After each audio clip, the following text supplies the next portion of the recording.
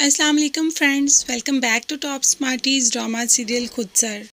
हमारी सारी ऑडियंस को खुद सर ड्रामे की लास्ट एपिसोड का बहुत ही बेताबी से इंतज़ार था।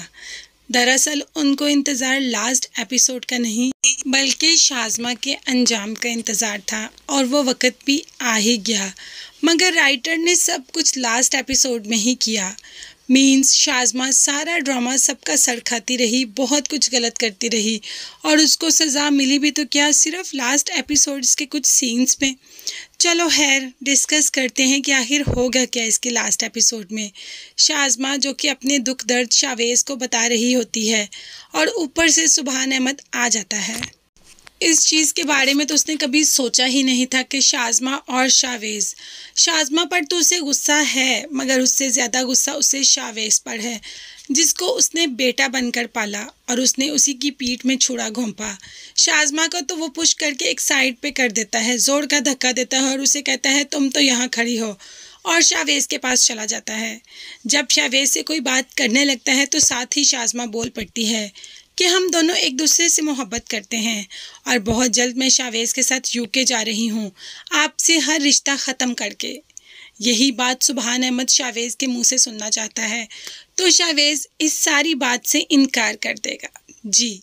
शावेज़ शाजमा से बदला ले रहा था। वो नहीं चाहता था कि शाजमा का घर बसे, क्योंकि शाजमा ने उसे, उसकी शादी से पहले रिजेक्ट कर दिया। अब वो शाजमा को कैसे माफ़ कर सकता था? इसीलिए तो उसने शाजमा से बदला लिया। सुबहान अहमद इसी गुस्से में शाजमा का हाथ पकड़ के ले गया उसकी माँ के घर, जहाँ पर माँ ने यहाँ पर दावत की हुई थी हरीम की शादी की।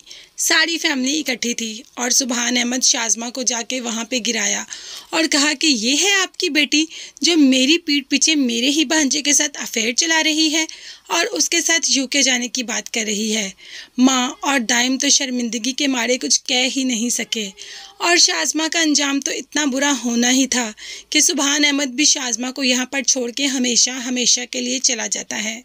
शाजमा ना जीशान की रही, ना सुबहान अहमद की और ना ही शावेज़ की। शाजमा तो अकेली ही रह गई। उसने सिर्फ़ और सिर्फ़ अपनी खुद सरी की वजह से अपना हर रिश्ता खो दिया। अब तो माँ और भाई भी शाजमा से बात नहीं करेंगे। और रही फैमिली की बात, उनको तो पहले ही शाजमा नापसंद थी।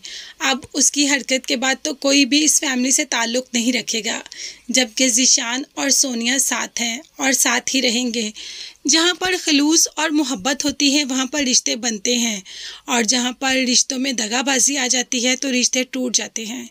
शाजमा ने हर एक को धोखा दिया और एंड पे शाजमा के साथ वैसे ही हुआ जैसे वो दूसरों के साथ करती रही।